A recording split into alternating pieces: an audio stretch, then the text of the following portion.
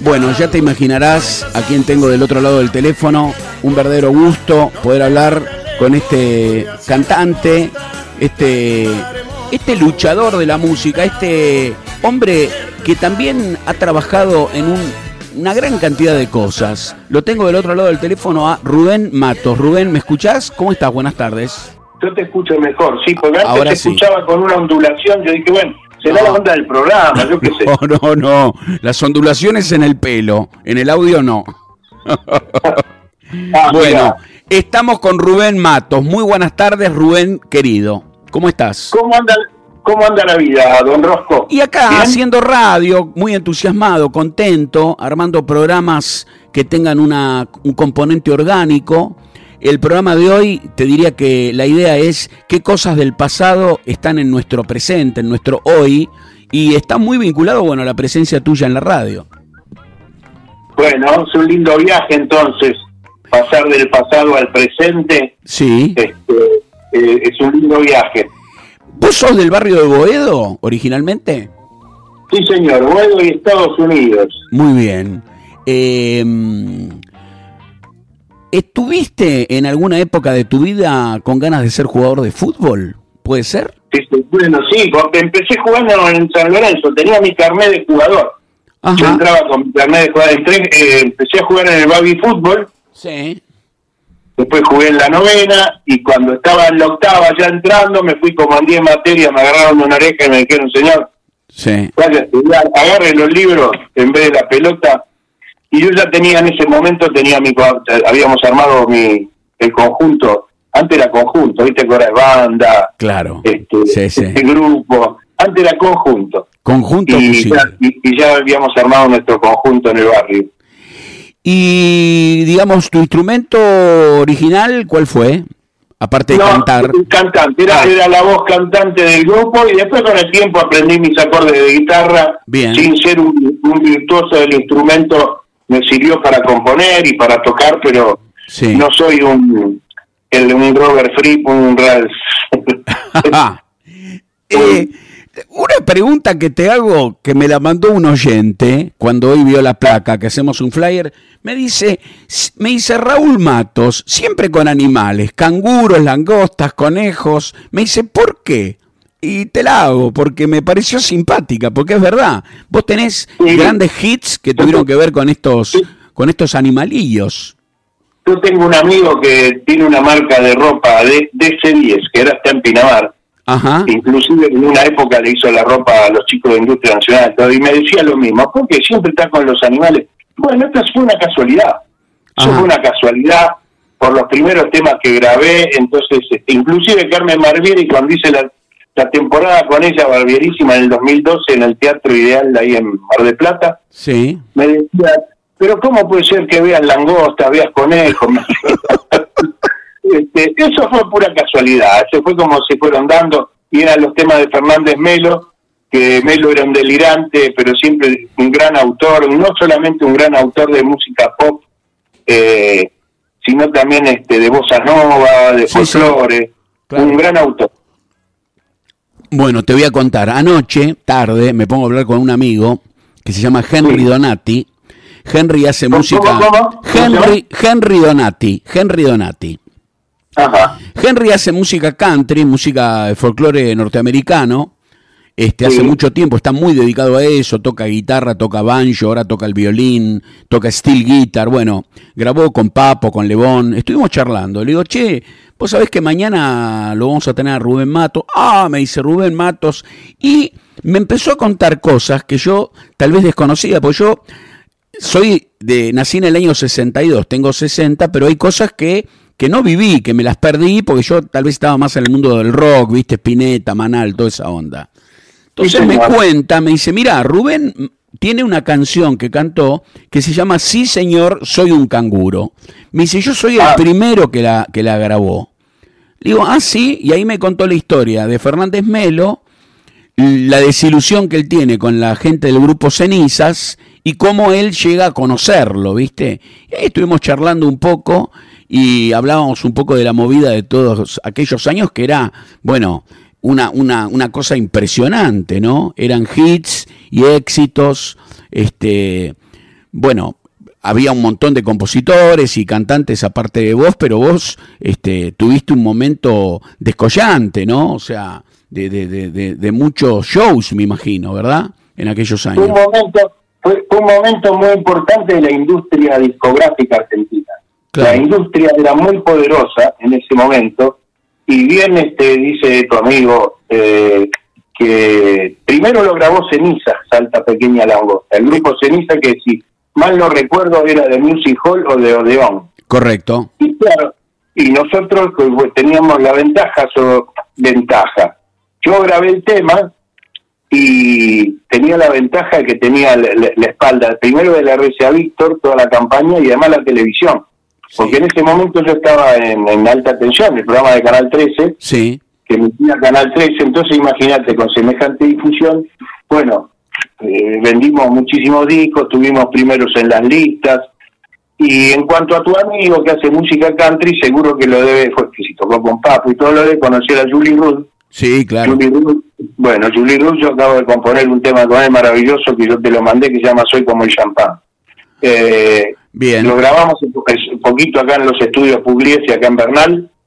Eh, así que deben ser del mismo palo y toda esa gente. Yo lo conocí a Julie también era bajista de Papo cuando fuimos jurados con Papo en el 2000 en el rock and rollazo allá en el auditorio de Mar del Plata junto a Walter Giardino que era el guitarrista de Rata Blanca, Willy Quiroga, Willy Quiroga de Box Así que bueno, me une una gran amistad y un gran cariño por, por todos esos chicos. Yo digo chicos porque yo tengo la misma edad. Claro, Willy es un poco más jovato, pero empezamos casi todos este, en la misma época, un par de años antes, un par de años después pero más o menos en de la misma época. Pero en cuanto a los temas, sí señor, yo soy un canguro y todas esas cosas, este, había mucha, eh, las compañías de discos tenían muchos artistas, por supuesto que como te digo antes, la industria era poderosa y daba de laburar mucho a muchos músicos sesionistas. Claro, sí, sí. Músicos de sesión que terminaban en se iban a RCA, de RCA se iban a CBS, de CBS se iban a, no que sé, micrófono. Entonces había mucho laburo y bueno, una época dorada, digamos, en cuanto a la música pop o a la música rock. Y después este la, las mismas compañías empezaron con esa grieta, no es de ahora, la grieta de, de, la progresiva, la comercial, toda esa boludez que en realidad todos hacíamos música. ¿Vos sabés que me, no le gustaba? La música nuestras o mías, la única intención que tenían era entretener y divertir. Me leíste la mente porque te iba a preguntar algo de esto, ¿no? Yo era rockero y yo me acuerdo que en mi adolescencia veíamos lo que era la música, llamarla pop o beat, porque en aquel momento estaba el beat, este, como enemigos, como, como enemigos, ¿viste? Claro, éramos antagónicos, éramos enemigos de alguna manera. Pasan los años, viste, pasa mucha agua bajo el puente, y yo ahora me doy cuenta, bueno, ya hace tiempo que me di cuenta, este, que cuando vos hablas con músicos de aquella época, de aquellos años, los 60, los 70, había amistades, había, se prestaban cosas, instrumentos, amplificadores, eh, se superponían horas en los estudios de grabación, había charlas. Eh, no era así, era, era más de la gente, ¿no? El, el, enfrentamiento. Era una relación, era una relación muy fluida y aparte estábamos nos considerábamos todos el mismo palo. Alquilábamos, alquilábamos las salas de ensayo allá en Callao. este, Los primeros pasos que hacíamos todos, como nos comprábamos nuestros primeros equipos. Este, y esa relación sigue. Bueno, la gente pensaba, como decías vos, que eran antagónicos y que, este, éramos el, agua y el aceite. Y yo te puedo tener una relación muy fluida hasta el día de hoy, de muchos años, con el Flaco Mestre, con ah. Juanse, con León este, y nos vemos y nos saludamos y compartimos una cena eh, sin ningún tipo de boludez que pueda eh, siempre esta grieta famosa que acá Foriche Galé, River y Boca, ¿viste? Claro, claro. Estas cosas que tenemos, pero como decís vos, en esa época empezábamos todos juntos, todo el mundo se entusiasmaba por lo que hacía todo el mundo. Yo empecé cantando en inglés, por ejemplo, mi primer disco lo grabé en inglés, en Odeón. Sí. Claro. Y yo lo grabé este, estando en el Teatro Nacional, en el primer Festival Internacional de la Música Beat, como decís vos, de la música beat. Y grabamos un tema nuestro que lo hicimos en castellano y por supuesto lo pasamos, lo tradujimos al inglés, Hannah. Y los 10 primeros conjuntos, se presentaron un montón de conjuntos en ese festival. Sí. Los 10 primeros conjuntos que elegía el jurado eh, tenían la opción de grabar en Odeón, ¿viste? Eran un long play con 10 temas. Y ahí aparecieron Nueva Crema, Aspirina, eh, me acuerdo que tocaba Pajarito Saguri, claro. o sea, toda esa movida es tipo año 68 por ahí, ¿viste? Claro, eh, Y así empezábamos todos, este yo me, compraba mi, propio equipo, me compré un Robertone de 100, que me acuerdo que el, amplificador calentaba a, válvula, era podía hacer un huevo frito, en, la, tercera canción lo que calentaba. ¿Viste? Los primeros equipos se compraban acá en Neto. Claro, Robertone. las, guitarras. las guitarras de repiso. maravillosas de los éramos plomos de nuestros propios equipos. Claro, las guitarras de repiso, las primeras guitarras que venían de afuera, era todo. Las, las repiso eran no. Claro. Eh, en aquellos años de éxito, de mucho éxito, ¿Cómo lo viviste? A ver, te lo tengo que preguntar así, digamos, de, de, de, hombre a hombre. El, la locura, la noche, la joda, las minas. ¿Cómo, cómo lo viviste? ¿Cómo, la, ¿Cómo atravesaste todo ese momento? Y fue una época, yo no podía salir a la calle. De hecho, el otro día me hicieron una nota ahí en, en Telefe Noticias y le comentaba a la chica que en, una época eh, salir de los bailes, por ejemplo, o de los clubes por los techos, o por salidas por salida falsa, ¿viste? Para evitar la gente. Yo tenía un representante que estuvo muy ligado al rock and roll, el Gordo Martínez, que es una leyenda, el manager, eh, bueno, era mi manager. Me acuerdo que me agarraba el gordo del, del, cuello y salía pegándole a la gente, decía, pará, gordo, era, era una cosa, bueno, era la única manera de salir de los clubes. Por llegar a Tucumán, bajarme la escalerilla del avión y venir el patrullero a buscarme por la gente invadía, era una época de delirio, ¿viste? y uno siendo joven no deja de sentirse John Y claro. Pero, pero, Bien, la, bien la llevé, aproveché, disfruté, le saqué el jugo a todo lo que le tuve que sacar, me divertí, eh, viajé, y a la distancia ahora veo, bueno, menos mal que tuve dentro de todo mi inconsciencia bastante consciente de tener los pies sobre la tierra y no creerte lo que no sos. O sea, no te arruinó la noche, vamos a decirlo claro, porque hay casos de éxito que entran en cualquiera y después viene la decadencia. No, no, no, no, gracias a Dios. Claro. Gracias a Dios fue muy digna y muy noble mi, mi digamos, mi carrera en cuanto a... Y la, y la noche, bueno, la noche sí, todos los días acostarte a las 5 de la mañana, pasás por una rutina o en las giras, este, con los músicos, pero nada, eso son anécdotas y gracias a Dios este, la naturaleza me ha dotado de, no sé, de, una química especial.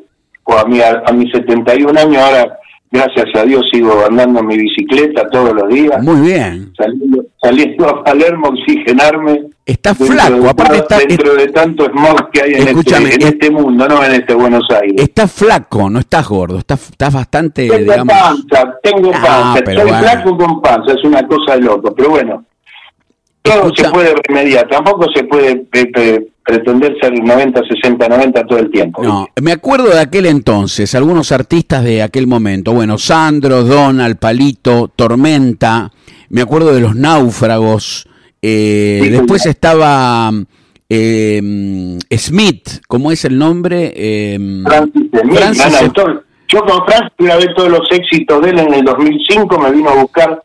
Yo hacía en Canal 7 con Manuela Bravo 30 y pico, un programa que eran cuatro horas en vivo los domingos. Manuela Bravo, muy linda. muy linda. y ahí se juntaban, bueno, justamente en ese programa se juntaban todos los géneros. Venían de todos, tenían eh, nada, rock, eh, pop, beat, este, y me acuerdo que vino y me dijo, mira, yo quiero hacer un popurrí, los dos popurrí con todos los éxitos de Zapato Roto, de Boliche en Boliche, todo, pero una nueva versión, pero bajo la producción de él, que fue quedó maravilloso. De hecho, lo hago en los shows y la gente empieza a hacer los pasitos de la época. y son temas que en realidad fueron grabados por, por diferentes grupos de, de aquella época. Sí. Safari, Los Náufragos, Quique Villanueva, este, que fueron éxitos uno atrás de otro. Ese material, eh, ese material lo escuché anoche en Spotify, por Ah, ejemplo. mira. El, el disco Bueno, ese, sí, está muy Yo lo bueno. grabé, yo lo grabé para Miami. Eh, lo, sacaron en un sello de allá. Buenos arreglos de caños, tengo que decirlo. Buenos Cuando caños. ¿Sabe quién son los arreglos de Daniel Vila? Mirá. Arreglador de Patricia Sosa, Valeria Link, Mirá. un monstruo, el tipo que hace toda la música de los noticieros de Canal 26, Ujú. eh, realmente un capo. Acompaña a Raúl Lavie a veces. Dani es un genio. Eh, ¿Vos sabés que hay un capítulo de Los Simpsons donde está Salta, Salta, Pequeña Langosta? ¿Sabías eso? Sí, sabía, es Ah. maravilloso. Medio que lo perdí, pero me lo, me lo habían mandado y aparece, creo que Bart entra cantando. Sí, sí, correcto. Está, está en YouTube, está en YouTube. Increíble. Está en YouTube. Es, gracioso eso. ¿eh? Cómo los tipos han sabido captar, porque Sí. para mí no hay serie más genial que Los Simpsons. La cabeza que tiene Matt Jones, el, el- el autor, este porque en realidad es una, una familia medio pelo de Estados Unidos. Claro, claro. Sí, sí. y es un poco también de casado con hijos, que era, era la- la- la- el Mr. Bundy, que era el, el vendedor de zapatos, que después lo hizo Franchella acá. Pero siempre este, satirizando un poco la vida del, del popular este americano, ¿no? Sí, señor. Eh, estuve investigando algunas cosas de tu vida. Hablemos de tu vínculo con Titanes en el Ring, que me pareció maravilloso. Contame un poco. Sí, bueno, Titanes, mira, de hecho tengo el póster acá, el póster gigante que usaban la, la distribuidora de cine para justamente para difundir la, la película.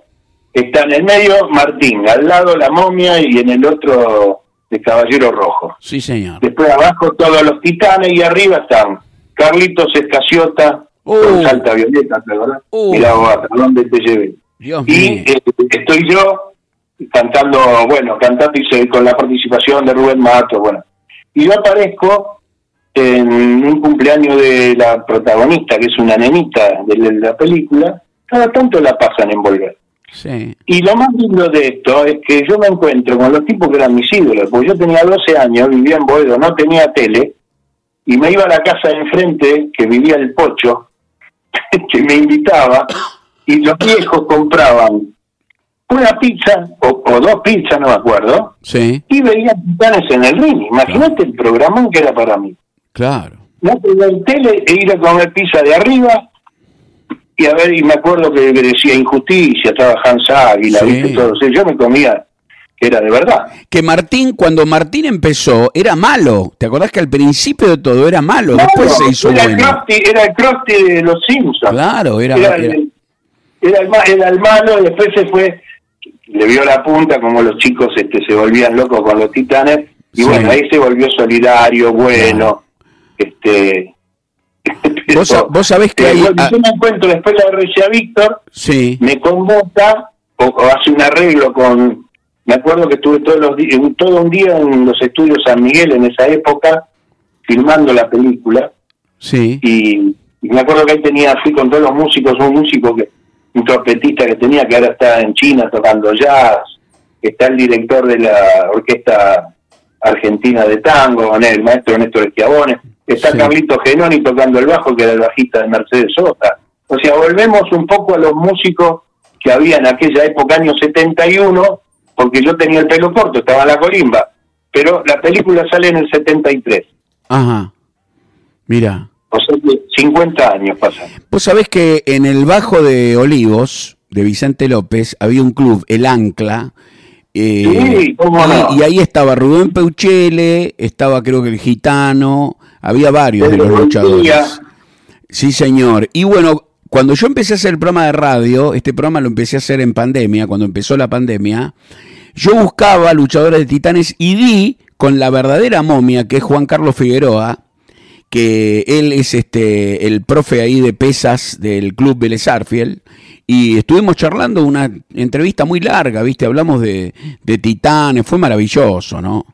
Este es muy jugoso porque paraban ahí, primero paraban en La Olla, en Núñez, Sí. un lugar que se llamaba La Olla, después se, o del ancla se fueron a la olla. El ancla, me acuerdo una vez que se armó una, un combate por la pelea de la de las pelotas paletas, jugaban a la paleta los patovicas y vino la infantería. Y me acuerdo que los patovicas lo bajaban del cogote con los cascos a los, Qué a los tipos.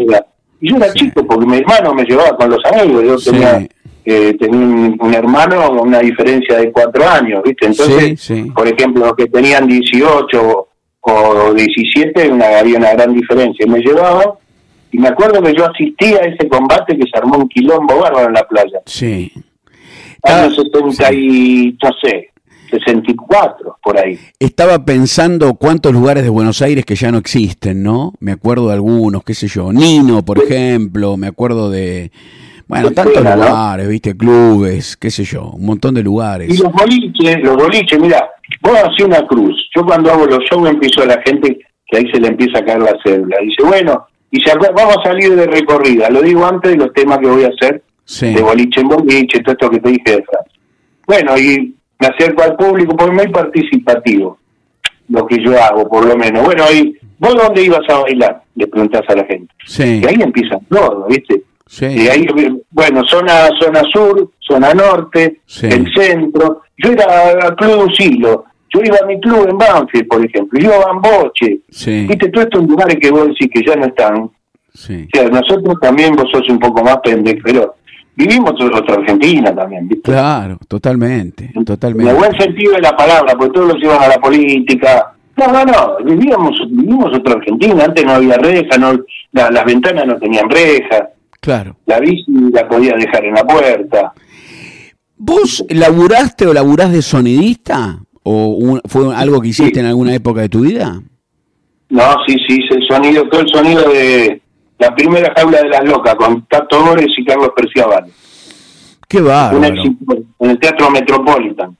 Mirá, Darío Grandinetti, mirá el elenco, Darío Grandinetti, Claudia Lapacó, eh, Andrea Tenuta, eh, no, perdón, Juan Carlos Tenuta, papá, El papá. eh, Lucrecia Capelo, no, no, mirá, y había 20 transformistas que bailaban y cantaban, Sí, viste que impresionante, y el Metropolitan era una sola sala, era 1100 butacas, que había que poner sillas porque estaba, y eso lo producía en esa época Clemente Lococo.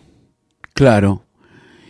Eh, cuando fue bajando un poco la espuma, ¿no? De toda aquella época, estoy hablando tal vez de los años 90, ponele. Este, ¿cómo, ¿Cómo te fuiste adaptando? Yo sé que vos seguís haciendo shows, seguís laburando, pero ¿cómo eh, te, te reconvertiste? eh, ¿Empezaste a hacer otras actividades vinculadas al arte?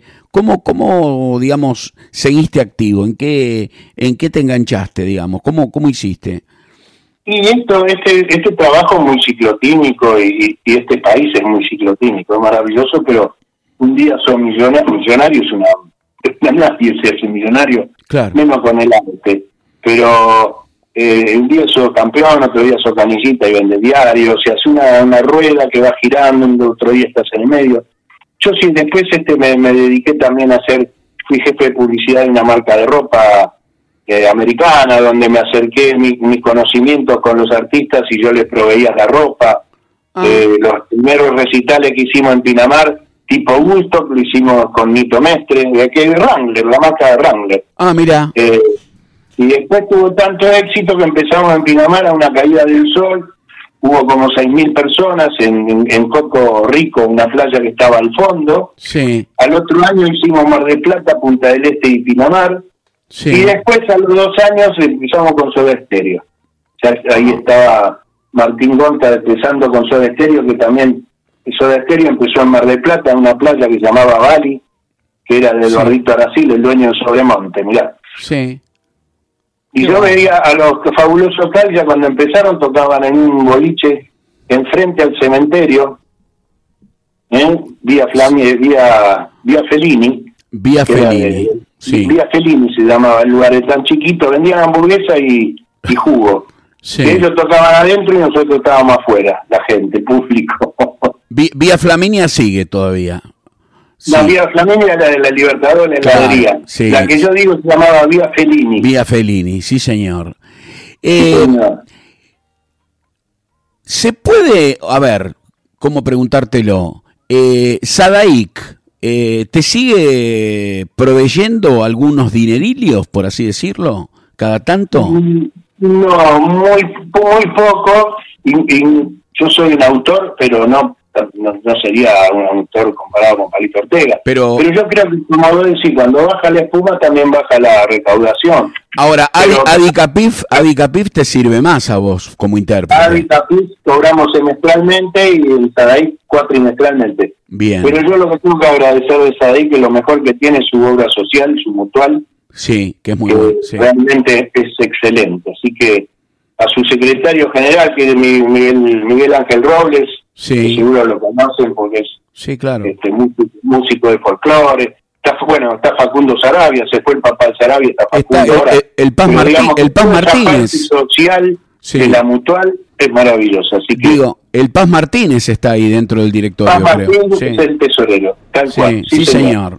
Sí, señor. Lo tuvimos en la radio del Paz. Otro gran autor si los hay. Sí, señor. Bueno, ves, con el Paz Martínez, yo se lo dije, le digo, mira, Paz, le digo, yo soy rockero. Yo estuve muchos años metido en el blues, en el rock, toda esta onda. Le digo, pero ahora que soy un poquito más, más maduro, este, le digo, realmente tengo que decir que sos un gran compositor. Aunque no sea mi, mi palo musical, pero no soy tonto, ¿viste? O sea, ahí tenés otro caso donde uno ve claramente, este, bueno, que que a veces uno divide, ¿no? Viste, como si fueran territorios, ¿viste? Pero es un error, porque de... Claro, claro que es un error, es como discriminar, como decirle a uno gordo, Exacto. o modo, ¿viste? Porque hay diferentes maneras, no de discriminar, yo no me siento discriminado ni a palo, pero es verdad, eso es como un o como un ninguneo, como yo cuando escuchaba, cuando era pendejo escuchaba rock and roll, nada más y me parecía que era otra música,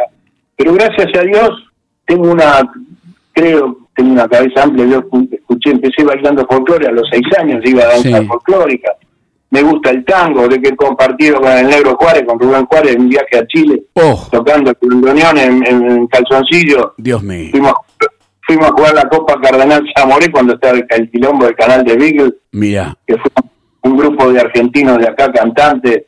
Estaba Guillermo Guido, Raúl Padovani, estaba yo, eh, Hugo Huitrago era el arquero, imagínate. Qué bárbaro, y, qué bárbaro. Y jugábamos, eh, se lo transmitía a la tele de Chile, era la Copa Cardenal Zamore con autores y compositores y, músicos de Chile. Mira vos. Me acuerdo, este, no, por ejemplo, pero tiene el cuento que, que me, el tango me emociona, viste, según quien lo toque y quien lo canta. Bien. no hay que discriminar solamente a, los géneros musicales, viste, que es lo más maravilloso que hay, poder hacer un tutti frutti. Claro. Eh, de, todos los, géneros que hay. Uno aprende un poquito de cada cosa. Bueno, te volviste a anticipar, me volviste a leer un poco la mente porque te iba a preguntar, ya llegando al final de la charla, ¿cuál es la música que te emociona? ¿Qué escuchás en, en, en el auto, en tu casa? ¿Qué escuchas? Aparte, por ejemplo, de tango. En el único lugar que escucho música es en el auto. Bien. Subo, lo primero que hago, prendo la radio. Eh, la música que me gusta en realidad es toda, pero me gusta mucho, no sé, escucho mucha música de afuera, escucho a Donald Fagen, Steely Dan. No me digas, Donald Fagen, Steely Steven, no sé, a sin poder, tengas una mezcla. Ah, me gusta mucho, me gusta mucho estos tipos que vinieron ahora eh, que llenaron como 10 River, eh, como puta, no me acuerdo. Eh, sí, sí, ya sé, eh, la banda sí, esta de pop, sí, no me acuerdo el nombre, pero... esto, me parece maravilloso, pues son alegres, tienen energía. Coldplay. Coldplay. ¿Cómo puede ser que nos olvidemos? Ya estamos grandes, viste que nos olvidamos los nombres. No, ahí, ahí te dije, Coldplay, Coldplay. Coldplay, Coldplay. Este, me, gusta en realidad mucha música. Me, emociona porque me, no sé, la música cuando te gusta te pone alegre, te sensibiliza. Sí, sí, claro. Así que nada, soy bastante amplio en eso. Bueno, Rubén, la verdad que ha sido un gusto hablar con vos. Este... No, no mismo, Rosco, gracias. No, gracias a nuestro, vamos a decir, nuestro amigo hizo la conexión ahí. Don, a, al señor al señor Ricardo Schiariti. Sí, señor. Mandarle un abrazo que está allá en su Pinamar, me eh, imagino. Espero que esté escuchando. Eh, escúchame, vos me mandaste varios temas y yo elegí uno. ¿Por qué elegí? Creo que vos le decís el tema del pobre. Lo elegí porque en una entrevista que te hicieron vos lo mencionaste como que era algo que estabas muy contento y elegí ese. ¿Está bien? Como para cerrar la charla. Claro, ese lo compusimos con Dani Vila, con, con el chico que yo te digo, este músico fantástico que hicimos este las versiones de Francis y, y sigue este, seguimos haciendo cosas, tenemos algunos proyectos en común. Que es una canción, digamos, cargada de ironía, que es como, tiene una cosa medio, hasta me venimos a decir, dijepoliana, donde describe, bueno, lo que le pasa a un tipo cuando está en la mala, por así decirlo. Este... cuando, cuando estás en la mala te, te duele la muela, tenés un problema en el ojo. Se te quema la heladera, no, basta con que estés en la mala, sino. Claro. y ya está que se resbala. Bueno, Rubén, eh, ¿tenés alguna manera que la gente se pueda contactar con vos en redes? Contame un poco. Bueno, yo tengo el Instagram que es matos. es matos oficial, como ponen todos ya. Matos.cantor viste, como en los barrios dice, ahí va el cantor, esta cosa, esa cosa antigua, tanguera. Bien, Matos. punto cantor. y daría el teléfono mío, pero muchas veces también sirve para que te boluden y no para que te llamen para contratación. No, que se, claro, que se contacten por el Instagram, que te manden un mensajito y, ahí... Exactamente, por el Facebook, Rubén Matos, este, pero ahí está, matos.cantor creo que va a ser lo mejor. Bueno, querido, eh, ¿dónde estás ahora? ¿Estás, el espacio. ¿Estás en Buenos Aires, en capital vivís o en provincia? Ah, ahora estoy en Palermo. En Palermo. mañana me voy para la zona de Gonet. Muy bien. Bueno, hemos hablado con Rubén Matos, eh, un hombre que sigue vigente, y yo puse hoy en el flyer popular y vigente. Y tenía muchas expectativas de hablar con vos porque sabía que que tenías mucho para, para decir y la verdad que ha sido un verdadero gusto hablar contigo. Un placer para mí, Rojo, gracias por el espacio y viva la música nacional. Vamos.